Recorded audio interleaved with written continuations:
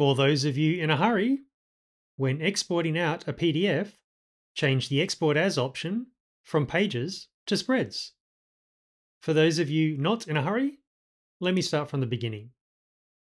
Here in InDesign, I have an 8-page Facing Pages document. In other words, I have four spreads, each with a left and a right page. I've already exported this out as a PDF, so let's jump into Acrobat to preview it. We can see here in the Page Thumbnails panel that this document indeed contains eight separate pages. So what's going on here in the main window? The spreads are all mixed up, and we've got this weird line between the pages. So at this point, you would typically come up to View, Page Display, and start messing around with the various single and two page views, as well as the cover page option. Now you'll eventually find the combination you need, but what if you are sending this to someone else to review? There is just no way you can control how they will preview the document.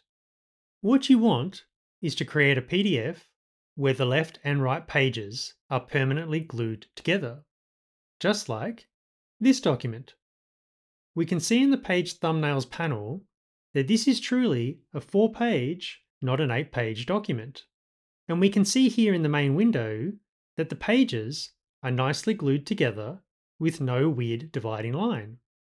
So how did I create such a beautiful PDF? I'm glad you asked. Back here in InDesign, let's create a PDF. The preset I'm using doesn't matter. Here is the Export As option, which by default is set to pages. Change it to spreads, and you are done. Now, it's extremely important to keep in mind that you wouldn't do this if you were creating a PDF to be sent off for professional printing. Generally, printers need a PDF with individual pages. But if you are creating PDFs to be read on a screen, by all means, turn on spreads.